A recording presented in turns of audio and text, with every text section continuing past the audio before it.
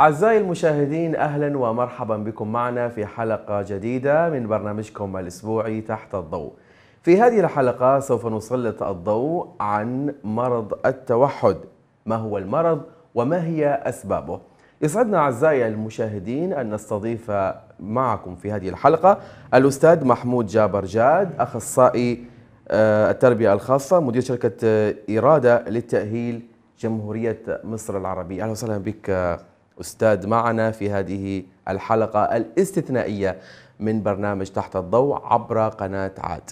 أهلا وسهلا أهلا وسهلا. بك. آه، وسعداء جدا بأن تكون معنا طبعا في هذه الحلقة الاستثنائية. بداية عرف السادة المشاهدين عن ما هو مرض التوحد. طبعا أنا أسعد إن أنا شفت حضرتك ومبسوط إن أنا جيت في حضرموت أو اليمن. ومبسوط بهذه الزيارة يعني لازم أوضح إن أنا مبسوط بالزياره دي أهلا وسهلا فيك. أهلا وسهلا. ونحن أسعد أيضا الله كذلك. الله يكرمك. آه، الفكرة أو البداية إنه مرض التوحد هو اضطراب من اضطرابات النمو الشامل آه، المرض ده أو الاضطراب ده بيصيب الأطفال في مرحلة الطفولة المبكرة. آه، مش هنقدر نقول سبب واضح لأن العلماء ما أجمعوش على سبب معين هو ده السبب اللي يخلي الطفل يبقى عنده توحد أو لأ. ولكن هو الطفل ال- ال- أجمعوا العلماء على إنه هو مرض جيني يولد الطفل به ولكن بعد الولادة المجتمعات تؤثر يا إما سلبا أو ايجابا في مدى خطورة أو شدة هذا المرض. بمعنى إن هذا المرض له درجات فلو المجتمعات آه، ولد الطفل في مجتمعات متعلمة وقادرة على التعامل مع الأطفال في سن مبكر بأن هم يتواصلوا ويتفاعلوا بتقل بتقل حدة هذا المرض عند الطفل ولكن هو يولد به على طول مباشرة. يولد به وأفهم من حديثك آه، أستاذ إنه آه، لا يمكن أن يصاب الشخص آه، أو الطفل بالتوحد من البيئة المحيطة به بعد الولادة؟ لا هو الطفل يولد به ولكن البيئة المحيطة الأسرة المجتمع اللي حواليه يا إما ي- يزودوا أو يخلوا حدة هذا المرض تزيد يا إما تقل إلى أبعد الحدود أو إلى أبسط الحدود فتبقى درجة بسيطة خالص. ولكن المشكلة كلها إن هو الولد مولود بمرض هذا بالمرض ده ليس المجتمع وحده هو المسؤول عن ذلك. يعني هقولها بشكل عام يعني مش عشان ماما سابت الطفل قدام التلفزيون أول سنتين جاله توحد ده هذا سبب ليس علمي. هو الولد مولود كده ولكن لما سابته في التلفزيون أو سابت الموبايل معاه أقل من ثلاث سنين زادت هذا زادت حدة هذا المرض. يعني هو مؤثر الموضوع ده مؤثر ولكن مش في وجود المرض ولكن في درجة حدته. والكثير يخلط آه، أستاذ في هذا الجانب بأنه الطفل آه، يصاب بالتوحد مثلا عندما يجلس بساعات طويلة أمام التلفاز أو عند آه، آه، يعني الدخول في الأجهزة الذكية كالموبايل أو آه، الأشياء الأخرى يعني. هل هن- هناك يعني آه، صلة. صلة بهذا الموضوع صح التعبير؟ بص خليني أقول ان هو مش هيبقى السبب أساسي في إصابة الطفل بالمرض ولكن كل وسائل التواصل الاجتماعية ال- التكنولوجية دي بتأثر بالسلب في مجموعة من الحاجات المتشعبة. حتى لو الطفل اتولد طبيعي ولكن عرض لل- للهواتف الذكية قبل ثلاث سنوات للأسف بي بيؤثر سلبا في تأخر اللغة في تأخر التواصل الاجتماعي. فبيبقى عندنا طفل ممكن ما يبقاش توحد ولكن عنده تأخر لغة. الكلام يتأخر. اضطراب آخر غير آه، آه، التوحد مشكلة أخرى.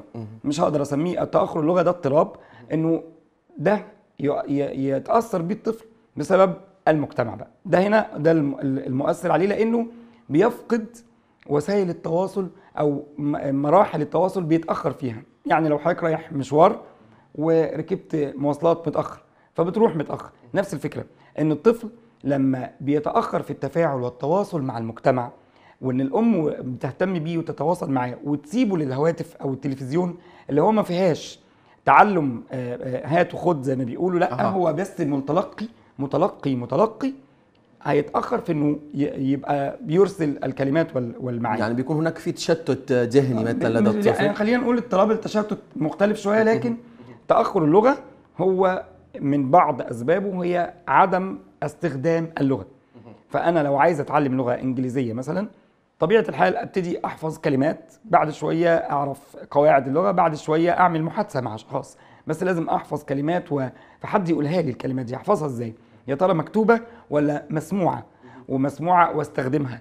فلازم الطفل لما يتولد نبعد عن التكنولوجيا إلى حد يعني إلى حد كبير. أي طفل قبل ثلاث سنوات لو سمحتم ما يمسكش موبايل في إيده. مهما كان يعني على قد ما نقدر. لأن في أطفال بيتشبثوا بيزعلوا بيتخانقوا بيعملوا مشاكل سلوكية لو سمحتم على قد ما نقدر نخليه جزء من اليوم بسيط لكن التفاعل والتواصل اللغة اللغة لغة استقبالية. التفاعل مع المجتمع. أيوه واللغة مقسومة ومع لغة. الأسرة أيضا نعم. طبعا بس اللغة عشان مشكلة اللغة هي مشك... اللغة مقسومة قطعتين. حاجة اسمها لغة استقبالية ولغة تعبيرية. في الفترة الأولانية من الحياة بتبقى لغة استقبالية يعني الولد يتعرف على العالم. يعرف إن ده كرسي يعرف إن ده قلم يعرف إن دي ورقة يعرف إن ده كذا يعرف إن ده كذا. كل ده لغة استقبالية. الطفل لما يقعد على الموبايل ويلعب بس ما دخلوش هذه المعلومات. إزاي هيستخدمها ويطلعها؟ مش إحنا قلنا من شوية عشان نحفظ إنجليزي بنحفظ كلمات عشان لما نيجي نتكلم يبقى عندنا مخزون من الكلمات نقدر نعبر بيه. بتلاقيه بيحفظ الأشياء اللي بي بيشوفها آه، ده مش التوحد. بالتلفاز لا أنا أقصد آه، الشخص الطفل- اللي آه بيتابع. آه. اللي بيتعرض للموضوع ممكن ممكن. تلاقيه يحفظ الألوان عشان فقط. الأشياء اللي بيتابعها أيوة، اللي بيشوفها بس. فقط. لكن غيرها العالم- كده انه آه يعني تحسه إنه. بعيد من العالم. صحيح لكن لما يبقى بيختلط بالعالم ويخرج للطبيعة فيشوف البحر ويعرف البحر ويدوس على الرمل ويعرف الرمل. الحواس كلها تتعامل وتتداخل. ربنا سبحانه وتعالى لما بيخلقنا وبنتولد وبنيجي للدنيا بنتولد ونيجي للدنيا عشان نتحرك ننزل ونتحرك. فنستخدم كل الحواس فيكبروا مع بعض. هو اسمه نمو كل حاجة بتنمو مع بعضها. مفيش حاجة بتنمو قبل حاجة. يعني الولد ما بيتحسنش النظر وبيشوف وبي... وبعدين نبتدي حاسة السمع تشتغل. كلها بتبتدي مع بعضها. فزي ما في حاسة البصر في حاسة التس... السمع حتى التذوق لازم يدوق كل حاجة. حاسة الشم لازم لما يتحرك من أركان البيت ويقعد يكسر وماما تزعل بس هو أثناء ده حاسة الشم بيشم كل الأرواح. الروائح أقصد. كل الروائح الموجودة في في المجتمع فبيتعرف عليها. إحنا لما بنكون عايزين نعرف حاجة إحنا بنعرف حاجة إزاي؟ بنشوف الحاجة نعرف اسمها ونتعرف عليها ولما نشوفها تاني نبقى يبقى قدرنا اديناها كود عشان نتعرف عليها. يعني أفهم من حديثك إنه بتلاقي إنه الطفل آه، آه، متفاعل. أيوه. يعني بيتفاعل بي بيلمس بيتحرك بيروح هنا بيجي هنا بيعرف الخطأ من الصح. طفل التوحد ما- بيكون في آه. نرجع بقى لطفل التوحد. طفل التوحد لو عرضناه طبعا للتلفزيون وهو كده كده مولود عنده مشاكل في استخدام الحواس. ليست الحواس مفقودة. يعني مش ما عندوش بصر ما عندوش مشكلة كلامية. ولكن في توظيف هذه المهارة عنده مشكلة فيها. إنه يعرف ممكن يتكلم ولكن مش هيستخدمها بشكل وظيفي. يعني ممكن يطلع أصوات لكن ما يقولش بابا لبابا. مع إنه ممكن يقول بابا بابا بابا بابا لكن لما يجي قصاد بابا ما يقولوش بابا. لأنه لا يستطيع توظيف الكلمات بشكل مناسب. ودي من بعض أو من أهم نقاط مشاكل التوحد.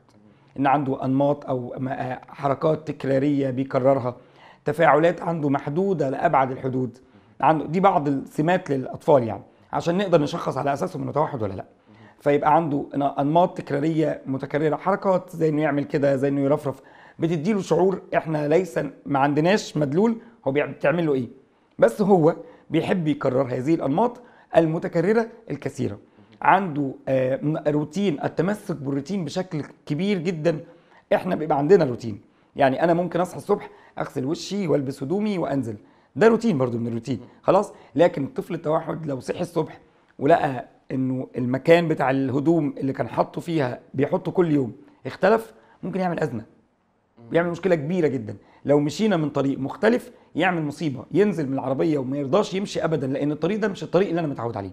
يبقى هو التعلق بالروتين عنده بقوة ويقاوم التغيير. يعني ما نقدرش نخليه يغير إنه إيه المانع إن إحنا نمشي من طريق تاني؟ لا عشان تعلقه بالروتين بيعمل مشكلة كبيرة. تمام؟ فدي من أعراض التوحد. فمش كل طفل عن اتأخر في الكلام نقول عليه توحد. مش كل طفل عنده مشاكل في إنه ما مش عارف يتفاعل مع اللي حواليه بنقول توحد.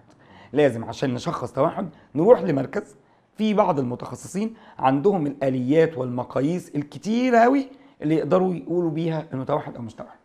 ما نقدرش نحكم عليه من موقف أو حاجة عمل حركة تكراريه فنقول الحق ده توحد. لا. لازم علشان نجزم إنه توحد نروح لمكان متخصص في ناس تدربوا تدريبا خاصا على مقاييس خاصة بالتوحد. يقدر يقول الطفل ده توحد ولا مش توحد. جميل. تمام؟ آه، هل من الممكن أن يصاب الشخص البالغ بالتوحد؟ لا لا طبعا لا. هو مرض اضطراب من اضطرابات. فشخص بالغ فوق ال 15 سنة وعدى على مراحل العمر والتفاعل والتواصل والكلام كل ده عدى عليه استحالة يجي له توحد. مفيش حاجة اسمها كده. اضطراب. التوحد هو اضطراب من اضطرابات ما بعد النمو الولادة. الشاملة. أيوه. يعني في الطفولة بيحدث أثناء مراحل النمو أو الطفولة المبكرة. خلاص؟ لكن ممكن طفل لا تظهر عليه الأعراض بشكل قوي أو لم يلاحظ بشكل مناسب وقوي إلا عند سن خمس سنوات. فده مش معناه إنه التوحد ظهر عليه دلوقتي التوحد.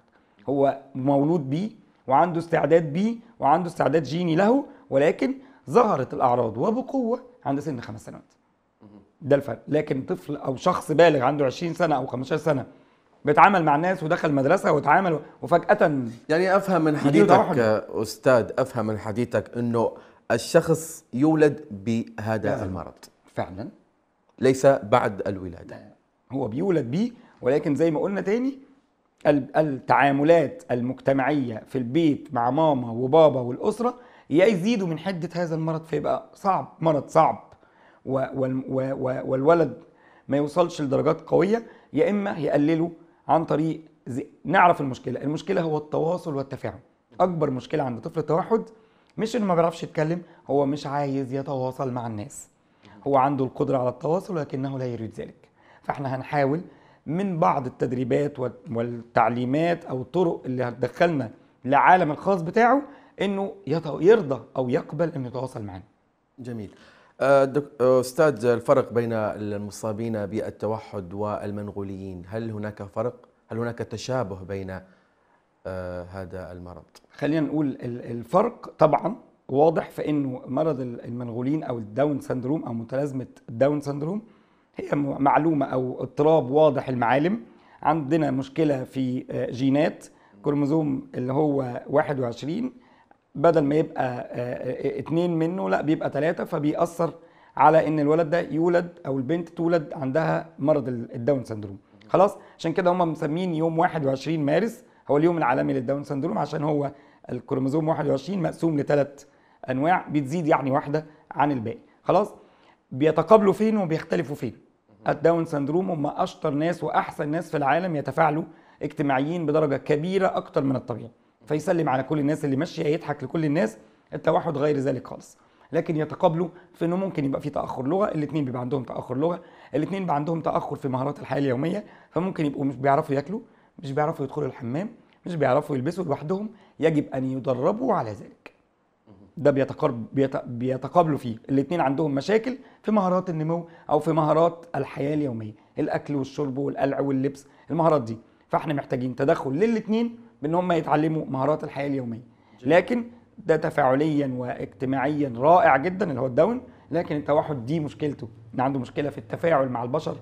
ولا يعي لهم ولا آه، ي- ي- اسمها يع- يعمل لهم أي اعتبار اجتماعي أو عاطفي بالنسبة له لكن الداون لا اللي بيحبوك وبيتبسطوا معاك ويهزروا معاك فهم تفاعليين أكتر. جميل. آه، من هم أكثر عرضة بمرض التوحد يا أستاذ؟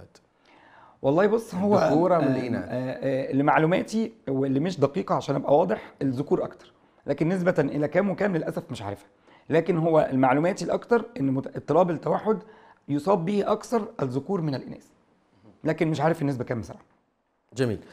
الآن آه، سنتوقف آه، مع هذا الفاصل أعزائي المشاهدين ومن بعده نعود لنواصل معكم ما تبقى من برنامج تحت الضوء مع الأستاذ محمود جابر جاد أخصائي آه، التربية الخاصة مدير شركة آه، إرادة للتأهيل جمهورية مصر العربية. كونوا معنا بعد الفاصل. عودة إليكم من جديد أعزائي المشاهدين لمتابعة ما تبقى من برنامج تحت الضوء مع الأستاذ محمود جابر جاد أخصائي التربية الخاصة مدير شركة إرادة للتأهيل جمهورية مصر العربية. أهلا وسهلا بك من جديد أستاذ معنا. ونحن قبل أن أخوض في بقية الأسئلة أولا سعداء جدا بأنك أتيت من جمهورية مصر إلى حضرموت. كيف أتت هذه الزيارة؟ قبل أن أبدأ بالأسئلة الأخرى. تمام. والله أنا برضو سعيد جدا بالزيارة دي وهي تجربة بالنسبة لي فريدة وجميلة يعني. آه، الفكرة بس إن أنا إحنا عندنا مكان اسمه إرادة في في مصر وكان أستاذ أحمد مدير مركز التوحد بالشحر هنا. كان تواصل معانا وكان يعني جاب طفل أو كذا طفل يتم تقييمهم وتشخيصهم عندنا في مصر. وكنا تواصلنا إنه إيه المانع إن إحنا نتواصل مع بعض إن هم يبقى في مكان ونقدر ندرب بيه الكوادر. وهم فعلا ربنا يحفظهم. يعني الجمعية هنا آه، عملت ده وجابت محاضرين من مصر آه، كثر يعلموا الطاقم أو طاقم المربيات في تدريبهم إزاي يعلموا الأطفال ال- ال- أو يتعاملوا مع الأطفال آه، ببرامج تدريبية يعني. فتم استدعائي من أستاذ أحمد مدير مركز التوحد هنا بالشحر وقال لي إنه إحنا محتاجين حضرتك تجيب لنا برامج جديدة ومقاييس أو تقييمات جديدة نقدر نساعد بيها الأطفال وطرق تدريبية مختلفة نقدر نعلم بيها الأطفال. تواصل معايا من حوالي من أكتر من سبع شهور ثمان شهور وبصراحة الراجل كان صبور إنه آه، صبر على الوقت يعني والحمد لله تواصلنا مع بعض الوقت مناسب و- واتقابلنا يعني بعت لي ال- ال- المكان إزاي وإزاي آجي وكانت تجربة فريدة يعني أنا مبسوط جدا من التجربة دي. وبصراحة الناس يعني أنا مش عايز أقول أشكر فيهم أكتر من اللازم ولكن هم فعلا أنا ما شفتش طيبة وتعاملة حسنة و وناس حابين يتعلموا. أشكر إدارة الجمعية والمجلس الإدارة لأن هم متعاونين معايا بشكل بيرسخوا لي كل حاجة أنا عايزها. كمان الطاقم التدريبي متفاعل وبيجوا ليل نهار وما بيتزهقوش مني يعني من كتر التدريبات. وبيستجيبوا وبيتعلموا ف يعني ربنا يبارك فيهم فأنا مبسوط معاهم كأني في مصر يعني الحمد لله. جميل جدا وسأخوض في سؤال أيضا من في صميم هذا الموضوع ومن خلال زيارتك لهذا المركز آه، هل لاحظت أنه يعني آه، كيف كيف هو التعامل داخل المركز آه، كيف يتم تعامل المربيات مثلا مع مرض مرضى المصابين أو الأطفال. بالتوحد؟ الأطفال نعم بص هو أكبر ما نعانيه من مشاكل في التعامل مع الأطفال دول هو إنك تجيب كوادر. الكوادر دول عندهم آه، ضمير وإنسانية في التعامل مع الأطفال. ويمكن ده اللي لقيته إن هم كمربيات حابين التعامل. كان ينقصهم بعض المعلومات أو بعض البرامج التدريبية اللي الحمد لله إن شاء الله يستفيدوا منها خلال الفترة اللي أنا بدربهم فيها ويتعلموا من خلالها كيفية التعامل مع الأطفال بشكل مهني أكتر.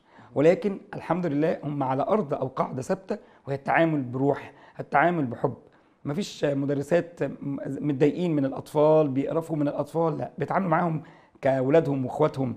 فدي كانت أهم نقطة إنك تلاقي مجموعة من البشر ربنا يختارهم ويصطفيهم إن هم يتعاملوا مع الأطفال اللي هم دول المفروض جميعا لا نحسبهم على الله ولكن آه، هم أكيد من أهل الجنة. فإن هم ربنا يختارهم ويصطفيهم إن هم يشتغلوا في المجال ده يبقى هم عندهم خير مش موجود في ناس تانية. كل الناس فيها خير لكن يعني أكيد مميزين في إن هم يتعاملوا مع البشر الأطفال اللي هم ما بيقدروش يروحوا يحكوا إيه اللي بيحصل في البيت أو إيه اللي بيحصل في المركز. فهو إنك تلاقي كوادر آه، بيحب التعامل مع الأطفال دي بتبقى حاجة مهمة جدا. يكفيك بقى أو دورك إن أنت تبتدي تدربهم وتعلمهم على المواد العلمية أو البرامج التدريبية العلمية المهنية المقننة من العلماء بره إن دي اللي هتفيد أكتر وهكذا. جميل جدا. طيب آه، نعود إلى موضوعنا آه، وفي صميم موضوع آه، التوحد. هل مرض التوحد درجات؟ آه طبعا. آه ويمكن في مقاييس معروفة آه مقياس اسمه CARS ده بيحدد شدة المرض آه حسب درجة الولد وده بي- بيقدر يقيسه أو يقدر يشخص بيه الأخصائي النفسي اللي في المكان. علشان كده بنقول لو سمحتم يا أهالي لو سمحتم مش أي ابنك لو اتأخر بقى عنده أربع سنين وما بيتكلمش تجزمي إنه توحد. لو سمحتي روحي المكان فيه متخصصين يقدروا يقيموه ويشخصوه بآليات هم عندهم أدوات تشخص ده. هيقدروا يقولوا لك هو فعلا توحد ولا لأ. تمام؟ علشان يبقى إحنا ماشيين بخطوات ثابتة وصحيحة. هي مشكلتنا كلها في إن إحنا نعرف فين المشكلة. بعدين طرق العلاج أو طرق ال- التحسين المشكلة ده بيختلف من مكان لآخر. لكن المهم نعرف هو في مشكلة ولا لأ. تمام؟ آه، يعني أفهم من حديثك أستاذ إنه لابد من فرز الأشخاص مثلا في المراكز مثلا هذا هذا درجة أولى هذا درجة ثانية. آه، يعني ما- عشان ما المستويات يصحش نحطهم. في مكان طبعاً. واحد. أيوه طبعا طبعا. ومن خلال زيارتك أنت للمركز يعني لقيت كده هل بالظبط. آه. هم متشخ... متقسمين هنا حسب درجة المشكلة. الأعاقات الشديدة شوية مع بعض لكن وعدد الأطفال في الفصل أقل من عدد الأطفال التانيين وعدد المربيات أكتر. يعني الفصل اللي فيه أطفال حالتهم شديدة شوية وفيه مثلا ست أطفال عندهم أربع مربيات. لأن دول محتاجين تدخل أقوى وشديد. لكن الأطفال اللي هم قربوا يبقوا يخشوا المدرسة ويندمجوا في المجتمع بيبقى مثلا عددهم أكبر شوية لأن هم عايزين بيئة قريبة من الطبيعية. فبيخشوا فصل. والفصول بتبقى زيها زي المدرسة بالظبط بس عددهم برضو مش زي فصل المدرسة ولكن اقرب يعني ممكن الش- الطفل آه، ينتقل لل- للفصل الآخر أو للمكان الآخر بعد ما أيوه بعد ما تحسن. مهاراته ومستواه يتحسن الإدارة الفنية بالتعاون مع المربيات يقيموا الوضع تاني وبعدين إن شاء الله يوصل لمستوى أعلى. كل ما مهاراته تزيد كل ما مستواه أعلى لحد ما إحنا عايزين نوصل إن الولد يوصل للفصل الأكاديمي عشان يندمج بقى بالمدارس الطبيعية والعادية. جميل جدا. هل رأيت آه، أستاذ إنه البرامج الحالية مناسبة للأطفال؟ أنت تحدثت الآن إنه آه يعني تحتاج إلى ربما تأهيل أكثر. تطوير. تطوير. خلينا نقول تطوير. هم كانوا بيتعاملوا ببرنامج رائع وممتاز اسمه ال ABA وده برنامج جيد جدا. لكن العلماء بره بصراحة يسبقونا بأعوام في المجال. فكل شوية يطلعوا لنا أو يطلعوا لنا مواد علمية أكثر دقة لافاده الأطفال التوحد بالأخص. فاحنا جينا دربناهم دلوقتي أو إحنا عندنا برنامج تم ترجمته في مصر عندنا في المركز اسمه الإيبلز. ده برنامج دسم جدا ومتشعب جدا يحتوي على 25 مجال. كل مجال فيه بعض الأهداف. وصل إنه عنده 544 هدف تدريبي عشان يخلي الطفل التوحد أو اللي عنده مشاكل في التواصل أو اللي عنده مشاكل في المهارات اللي الم- المشاكل دي مأثرة على مهارات حياته اليومية إن هو يتدرب عليها. يعني مثلا لو إحنا البرنامج اللي إحنا جبناه وقيمنا عليه الطفل وعنده مشاكل لو الطفل أي طفل في المركز هنا وصل إنه نجح في كل مجالات مجالات وأهداف المر... البرنامج الإيبلز هيبقى طفل عنده سبع سنوات طبيعي. هيبقى عنده مهارات الطفل اللي عنده سبع سنوات طبيعي جدا.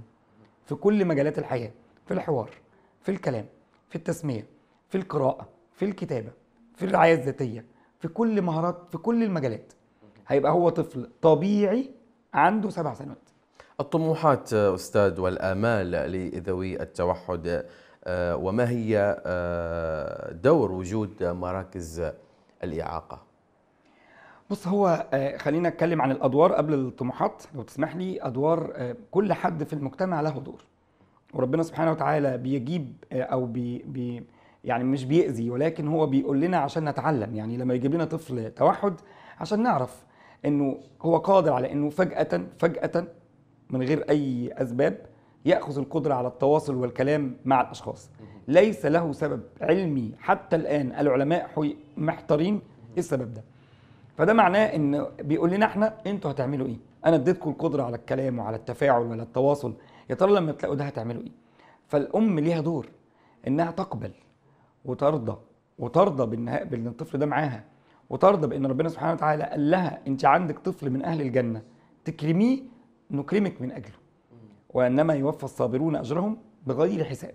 فإن صبرك وطبعا أنا يعني أنا مقدر إنك تكوني تعبانة أم أو أب وإن عندك طفل عنده مشكلة من النوع ده مختلفة والعالم كله ما يعرفلهاش حل وما يعرفلهاش وما يعرفلهاش علاج فده أمر كبير. خلاص؟ فساعتها يبقى أنت تصبري فالفكرة إنه ربنا سبحانه وتعالى بيديها بعض ال- الصفات طبعا آه، ربنا سبحانه وتعالى لا يكلف الله نفسا إلا وسعها. فمعنى إنه اختارك إنك يكون عندك طفل من هؤلاء الأطفال معناه إنه بيقول لك تذكريني دائما وإنك لو صبرتي وتحاملتي وتعاملتي مع الطفل برفق ولين إن شاء الله إنما يوفى الصابرون أجرهم بغير حساب. دور الأخصائيات هنا أنا لسه قايل من شوية إنه كل ما يكون كل أخصائية حاسة بالطفل وعارفة ان هو داخل عندها عنده مشكلة في إنها تتعلم ما هو جديد تتعلم ما هو كل ما هو جديد تصبر على تعب. طفل التوحد ممكن فجأة فجأة بدون مقدمات يضرب الأخصائية يأذي الأخصائية يأذي نفسه بدون مقدمات. فدول عليهم يعني ربنا يجازيهم خير ويجعله في ميزان حسناتهم لكن عليهم الصبر والتوعية إن هم يوعوا الأولياء الأمور ويقولوا لهم ما لهم وما عليهم. إزاي نربي وإزاي نعلم؟ نتعلم الأهداف وننفذها ونطبقها علشان نقدر نوصل للطفل الأعلى مستوى من المهارات اللي هو المفروض يتعلمها. طبعا في دور للإعلاميين إن هم يوعوا الناس زي ما حضرتك بتعمل. جزاكم الله خيرا. إن دورك إنك توعي إن طفل التوحد والله ليس له ليس يظهر ما بيظهرش عليه أي أثر من آثار إنه عنده مشكلة. يعني الطفل المنغولي مثلا باين على وشه فممكن الناس تتعاطف وتفهم. لكن طفل التوحد طبيعي جدا. بس ممكن. تكون ليه أمور شاذة حركات شاذة. لو سمحتوا تقبلوا. ما تقسوش على الأهالي بنظرات وب... وبأفعال وبأقوال. خلوهم يندمجوا من حقهم يشوفوا المجتمع ويعيشوا فيه. مش عشان هم عندهم مشكلة نقفل عليهم ونقفل البيبان. خلوهم يندمجوا ويخرجوا ويعملوا وتقديرهم لده.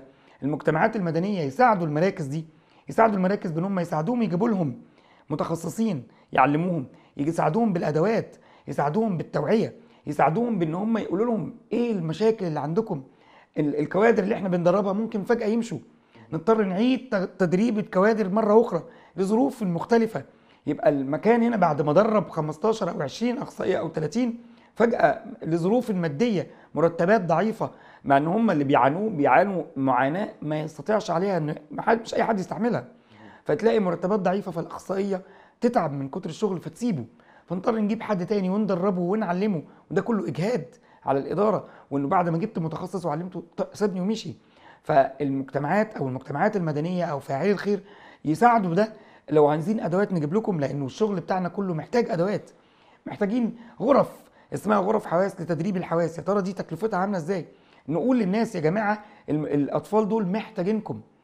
محتاجين آه دعواتكم وإن إحنا نصبر ولكن محتاجينكم. تكاتفوا. مش بس لازم يكون مرض عنده مرض ولازم يروح يكشف فتبقوا أنتوا شايفين ده حد عنده لا قدر الله سرطان ففي أشعة فتشوفوها تتاكدوا فتروحوا تبعتوه. مرض التوحد عمرك لو شفته ما تفهم إن عنده توحد ولا إن عنده مشكلة. تعالوا المراكز وشوفوا بنفسكم الأطفال واعرفوا إزاي بيتشخصوا وايه الم... إيه الصعوبات اللي بتواجه الإدارات وحاولوا تساعدوا ساعدوا بكل ما ما أوتيتم من قوة.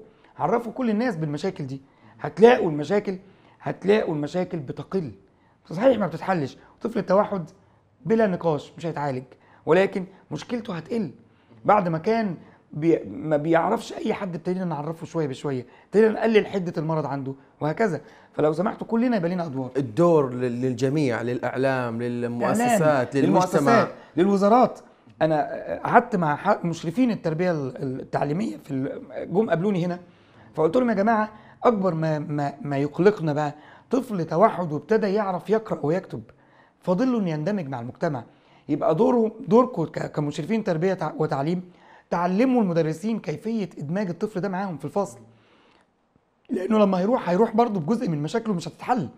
فلازم تتقبلوه وإزاي تعاملوه وتعملوا دمج ما بين المدرسين. بمعنى إن أنتوا لو الأطفال المدرسات ما يعرفوش حاجة عن التوحد يجوا ياخدوا كورس هنا عن التوحد وكيفية التعامل. يبقى الدمج مجزأ ممكن طفل التوحد يقعد هنا ثلاث أيام ويروح المدرسة يومين ويمشي بالتدريج لحد ما هو لازم إحنا دورنا إيه؟ إحنا عايزين نخليه يروح المجتمع ويتعامل مع الناس زي الطبيعي. ما ينفعش يبقى دور واقف هنا ويروح المدرسة يلاقي بقى تصادم. أطفال مش فاهمين بيعاملوه معاملة مش كويسة فالولد يتصدم بعد ما كان في مجتمع مهيأ وبيعاملوه كويس يلاقي معاملة مش كويسة يلاقي مدرسين مش مش قادرين مش فاهمين يتعاملوا معاه إزاي فيترفض من المدرسة تاني. يبقى إحنا ما عملناش حاجة ومجهودنا كله ده راح. كبر الولد بقى عنده 12 13 سنة يمشي من المركز عشان ملوش مكان لأنه كبر. ويقعد في بيته. يبقى كل اللي عملناه ضاع. فلازم وزارة التربية والتعليم يبقى عندها توعية بإنه المدرسات بتوعها والمدرسين بتوعها يفهموا يعني إيه المرض ده وإنه من حقه يتعلم. ولأنه ولد مش خطير ومش مؤذي هو بس من حقه يتعلم بطريقة مختلفة. آه، أستاذ آه، محمود آه، كيف يدمج طفل ذوي الهمم مع المجتمع؟ آه كيف يندمج يعني؟ خلينا نقول إنه زي ما كنت بقول من شوية ان كل كل حد ليه دور. حسب دوره في المجتمع. آه الطفل التوحد زي ما قلنا هو عنده مشكلة أكبر مشاكله في التواصل والتفاعل الاجتماعي. ولكن عنده بعض ال- ال- الصفات وبعض القدرات اللي ممكن توصل إنها تبقى خارقة. يعني طفل التوحد ده ممكن يكون عنده من القدرات البصرية والإدراك البصري أعلى من الطفل الطبيعي. فإحنا كل دورنا بس إن إحنا نحاول نكتشف إيه المدخل المدخل اللي يوصل له المعلومة. لو هو مدخل بصري فاحنا نعلمه عن طريق البصر إنه يقرأ ويكتب أي حاجة يتعلمها لما يشوفها الأول. خلاص؟ لو عملنا كده والولد اتحسن محتاجين زي ما قلنا من شوية تدريب لكوادر جوه وزارة التربية والتعليم يفهموا كيفية التعامل. وممكن يحصل تواصل ما بين المراكز. إحنا في المركز هنا لما لما دربنا الأخصائيات إحنا عايزين ندرب الأخصائيات اللي في الشحره كلها في المدينة كلها عشان يتعاملوا مع كل الأطفال. فما ما المانع إن إحنا يبقى في بيننا تواصل. كل مراكز اللي بتشتغل مع الأطفال يبقى في بينهم تواصل. إن لو في طفل كويس وعندهم مشكلة تعالوا نتقرب مع بعض ونتواصل مع بعض لأن إحنا مش بننافس بعض. إحنا كلنا هدفنا الولد يتحسن. كذلك وزارة التربية والتعليم تتواصل مع كل المراكز. إزاي نعمل نعمل دورات تعليمية فيها الفريق ده والفريق ده عشان الطفل ال- ال- المدرسة أو المربية في المركز عارفة تتعامل معاه وعرفت توصل له المعلومة. المدرس كمان يتعلم منها إزاي يوصل المعلومة. يبقى في متخصصين جوه الوزارة يقيموا الطفل ده فعلا يقدر يخش مع يندمج مع الأطفال ولا لأ؟ قدراته لسه ما تسمحلوش. يبقى في آلية لده. في حاجات ثابتة ومعروفة حاجات علمية مقننة مقاييس اختبارات ذكاء مقاييس نفسية زي الكارز. نقدر نعلمها للأخصائيين ويبقوا الأخصائيين دول تابعين لوزارة التربية والتعليم. يقدروا هم يقيموا الأطفال في المراكز إن الطفل ده نجح في مستوى معين ندخله مدرسة. لما ندخله مدرسة أو لما يشترك في مدرسة يقدر يمشي بخطوات ثابتة في مراحل التعليم زيه زي غيره. بس هيحتاج طريقة بس. طريقة الفرق بينه وبين غيره هي طريقة لتوصيل المعلومة.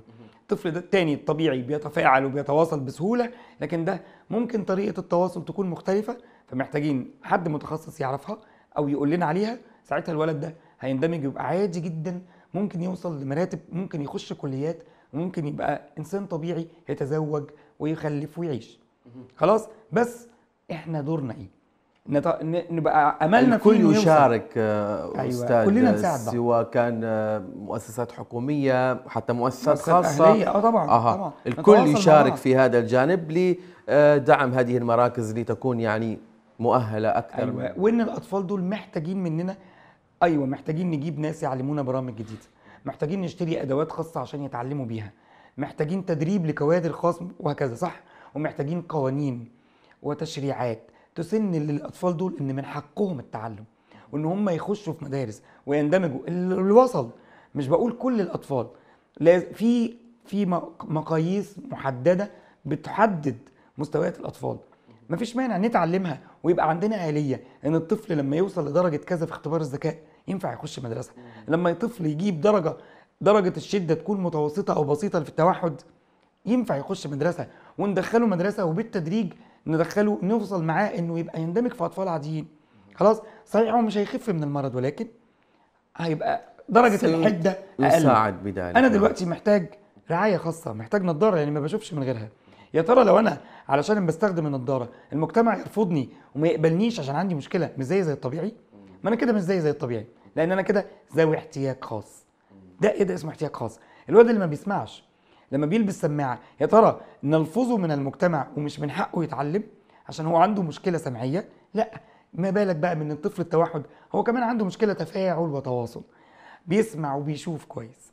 ليه نلفظه من المجتمع؟ ليه ما يبقوش له في إنه يشترك ويندمج في وسط الأطفال دول الطبيعيين؟ ليه ما نوعيش حتى أطفالنا؟ إن لا ده طفل آه هو طفل مختلف عنك.